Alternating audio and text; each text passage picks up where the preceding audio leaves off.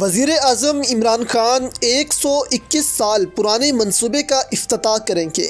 تفصیل کے مطابق جہلم میں جلال پور کینال کے تاریخی منصوبے کے سنگ بنیاد کے حوالے سے ویڈیو بیان جاری کرتے ہوئے وفاقی وزیر science and technology Fawad Chaudhry نے کہا کہ یہ منصوبہ آج سے ایک سو اکیس سال پرانا ہے، جس کا سنگ بنیاد وزیر اعظم عمران خان کل رکھیں گے۔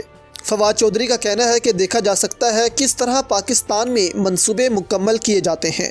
انہوں نے کہا کہ اس منصوبے سے جہلم میں پینے کے پانی کا مسئلہ حل ہوگا۔ لاکھوں ایکڑ زمین زیر کاشت آ سکے گی۔ ایٹین نائنٹی ایٹ میں جلال پور منصوبہ شروع کیا گیا تھا۔ فواد چودھری کا کہنا ہے کہ وزیر اعظم عمران خان نے جہلم پر خاص مہربانی کی ہے۔ جلال پور کینال کے تاریخی منصوبے سے اس شہر کی تقدیر بدل جائے گی۔ فواد چودھری نے مزید کیا کہا، آپ بھی سنیں۔ سو اٹھانوے میں یہ منصوبہ جلال پور کینال کا سب سے پہلے کنسیو ہوا اور اب، انشاءاللہ، دو ہزار انیس کے آخر میں یعنی چھبیس دسمبر کو وزیر اعظم پاکستان اس کا افتتاح کر رہے ہیں۔ ایک سو اکیس سال پرانا منصوبہ ہے۔ آپ اندازہ لگا سکتے ہیں کہ منصوبے یہاں کس طرح سے مکمل ہوتے ہیں۔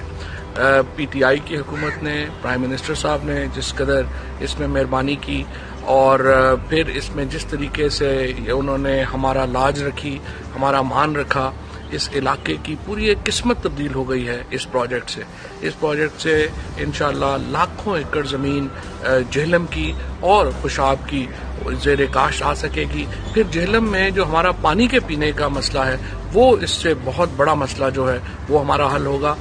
جہلم کا یہ جو علاقہ ہے، یہ کھیوڑا کے دامن میں ہے۔ اور آج حکومت پاکستان نے وزیر اعظم پاکستان عمران خان کے توسط سے، ان کے وسیلے سے آج کچھ نہ کچھ اس علاقے کا حق ادا کیا ہے۔